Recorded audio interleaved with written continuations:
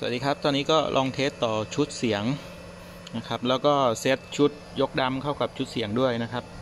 อตอนนี้ผมปลดเกียร์ว่างอยู่นะครับ ตอนนี้ servo เกียร์ไม่ได้ใช้นะครับ ก็มีกระเดื่องดันอยู่ตรงนี้นะครับ ต้องล็อกตัวเพลาเกียร์ตรงนี้นะครับจากกล่องชุดเสียงเนี่ยก็จะมีแค่สายเส้นที่หนึ่งก็คือเป็น servo เลี้ยวนะครับ เส้นที่สองเป็นอ เร่งเครื่องนะครับ สีน้ำเงินเสียบไปช่อง 3 แล้วก็สายเหลืองเสียบอยู่ที่ช่อง4นะครับ เป็นสตาร์ทกับเสียงแตร ออกจากชุดเสียงก็จะมีแค่เส้นเดียวครับ มีแค่เส้น servo เลี้ยวไปเข้า servo เลี้ยวนะครับ ส่วนตัวเส้นนี้ไม่ได้ใช้นะครับ ส่วนสีเขียวตัวนี้เป็นสวิตช์ไฟนะครับ เป็นฟังก์ชันสวิตช์ตัวนี้ช่องไม่พอเสียบนะครับ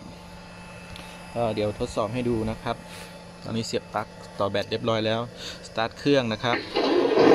ดึงไปทางซ้ายแล้วปล่อยมาที่ตรงกลางนะครับ เสียงแตรเดินหน้าถอยหลัง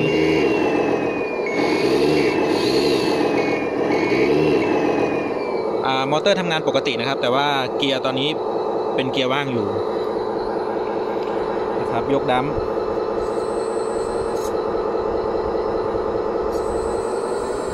ให้ ดำลง ดำขึ้น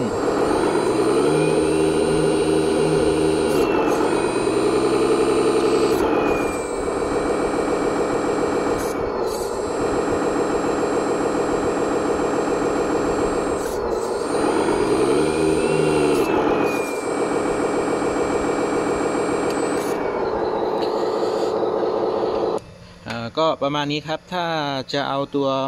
ฟังก์ชันสวิตช์ไฟก็ต้องเพิ่ม receive นะครับเพิ่ม receive แล้วก็เกียร์อีกหนึ่งช่องนะครับโซสวิตช์ไฟอีกหนึ่งช่อง